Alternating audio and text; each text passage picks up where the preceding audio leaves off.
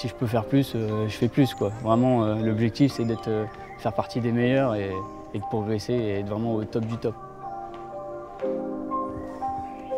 L'ambition est assumée. Kevin de Vitastesi veut dominer sa discipline, le 400 mètres para-athlétique. Car oui, le coureur amiénois est porteur d'un handicap, l'absence de sa main gauche depuis la naissance. J'ai l'habitude d'être né avec, donc je me suis forcément adapté à toutes les choses dans la vie au quotidien, comme euh, bah là dans le sport, où ça a été euh, un peu mon, c'est un peu mon moment à moi, où vraiment je me défoule, je me libère et, c'est ça que je recherche en fait, c'est le dépassement de soi et prouver aussi aux autres, que, aux valides, que c'est pas parce que j'ai un handicap qu'on peut rien faire. Au contraire, c'est parce que j'ai envie de montrer qu'on est capable de tout. Et l'athlète de 24 ans est du genre à lier la parole aux actes. Initialement pratiquant de football, voilà seulement 4 ans qu'il foule les pistes d'athlétisme. Il enchaîne déjà les médailles d'or au championnat de France et concurrence même le dernier champion paralympique de sa catégorie. Tu peux en mettre un petit peu plus. hein. Moi Ouais. Et la butte, là, vous la passez un petit peu euh, en décélération.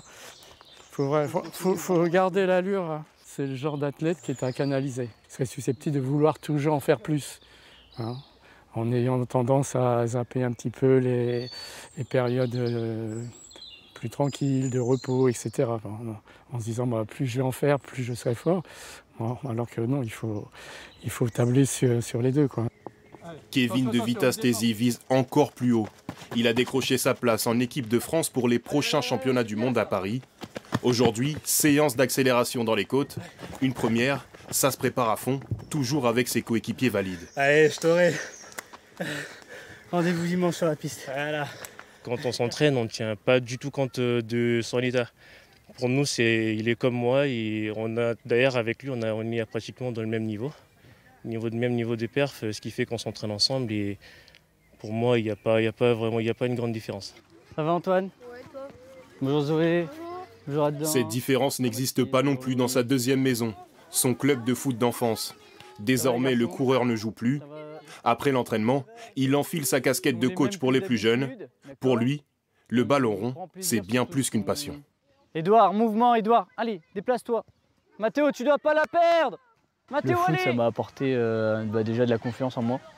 Le fait aussi d'accepter son handicap aussi, parce que euh, mine de rien, euh, au tout début, on est assez timide, assez réservé quand on est jeune, donc euh, on n'ose pas trop montrer, euh, enfin, on n'ose pas être vu et jugé surtout en fait par rapport aux autres.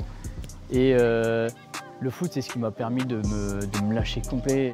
Aucune barrière, aucune limite. Kevin de Vitastesi n'est pas prêt de contenir ses efforts. Objectif ultime, le Graal, Paris 2024. Il faudra pour ça battre son propre record et parcourir les 400 mètres en moins de 50 secondes.